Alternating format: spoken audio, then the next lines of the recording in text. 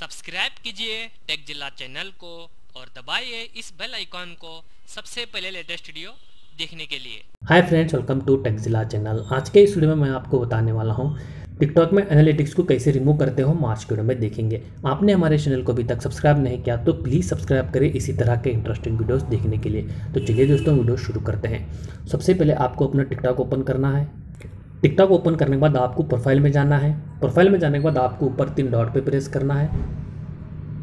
यहाँ पे देखिए एनालिटिक्स हम इसको रिमूव करते हैं। बहुत ही सिंपल है दोस्तों मैनेज अकाउंट में जाना है।